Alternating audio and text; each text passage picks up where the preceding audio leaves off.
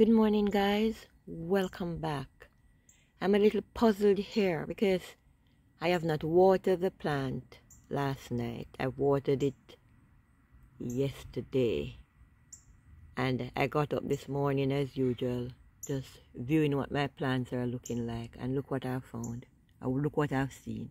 Water that is springing from the leaves. Guys, I'm going to go straight in and let you see what I'm talking about. And I've harvested some callaloo about three days ago or so. And to my surprise, this is what is happening. Guys, let me know if you have had this experience. Because I, I find it quite interesting.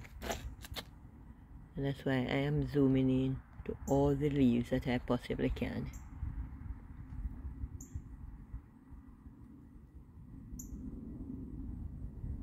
So it seems as if um, I am not an expert in this, but it seems as if um, the water that absorbs through the root and it comes through the leaves. This is just an assumption for me because I find it very, very, very interesting.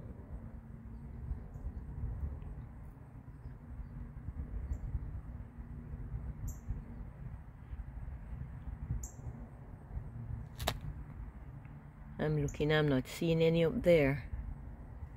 I'm not seeing any there.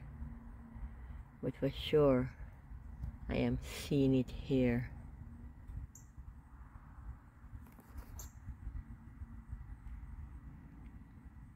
Let me know if you are able to see the, the water that I'm talking about.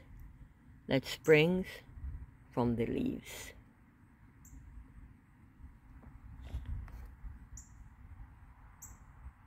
Thank you so much for watching. And guys, as usual, I appreciate your company. God bless you. And I will see you in my next video. Bye-bye.